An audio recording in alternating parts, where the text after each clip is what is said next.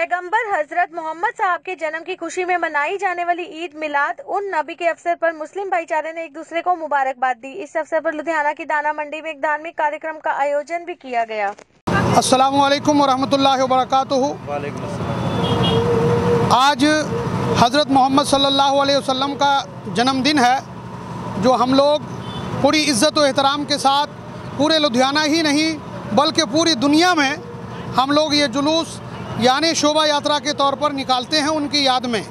اور آج ان کا جو پیغام امن ہے، اس کو بھی ہم پھیلائیں گے اور پوری دنیا کو یہ پیغام دیں گے کہ حضرت محمد صلی اللہ علیہ وسلم دنیا میں امن و سلامتی کے لیے پیدا کیے گئے تھے۔ اور آج امن و سلامتی کا پیغام عام کرتے ہوئے، ہم یہ نعرہ لگاتے ہوئے، روڈوں میں، راستوں میں نکل کر دانہ منڈی میں جمع ہوں گے۔ اور یہ پیغام دیں گے ہمارے نبی کی یہ ہے شان، بچہ بچہ ہے قربان۔ ہمارے محمد صلی اللہ علیہ وسلم نبی صاحب کا جنم دن ہے۔ سبھی سب سے پہلے سبھی دیش واسیوں کو نبی صاحب کا جنم دن کی بہت بہت بدھائی ہو۔ جو ہمارے مسلم بھائی چارے کے لوگ ہیں، سب سندیش دینا چاہتے ہیں۔ ہمارا جو یہ دن ہے پیس آف ڈے شانتی دیوس۔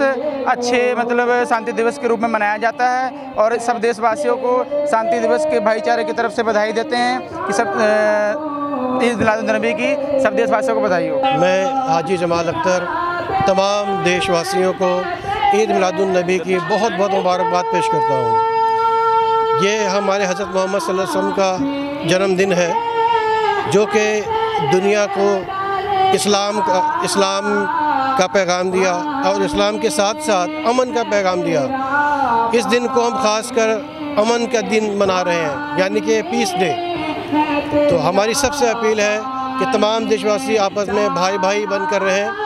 ਔਰ ਅਮਨ ਕੋ ਕਾਇਮ ਰੱਖੇ ਯਹੀ ਹਮਾਰੇ ਨਬੀ ਸਾਹਿਬ ਦਾ ਉਪਦੇਸ਼ ਹੈ ਮੁਸਲਿਮ ਸਾਰੇ ਭਾਈਚਾਰੇ ਨੂੰ ਆਪਣੇ ਵੱਲੋਂ ਬਹੁਤ ਬਹੁਤ ਮੁਬਾਰਕਬਾਦ ਦਿੰਨਾ ਹੈ ਜੀ ਔਰ ਕਬੂਲ ਹੋਵੇ ਅੱਲਾ ਸਭ ਦੀਆਂ ਦੁਆਵਾਂ ਪੂਰੀਆਂ ਕਰੇ ਸਾਡੇ ਸ਼ਹਿਰ ਦੇ ਵਿੱਚ ਸਾਡੇ ਸਾਡੇ ਮੁਲਕ ਦੇ ਵਿੱਚ ਅਮਨ ਚੈਨ ਰਹੇ ਬਸ ਇੰਨਾ ਹੀ ਕਹਿੰਦਾ ਹੋਇਆ ਬਸ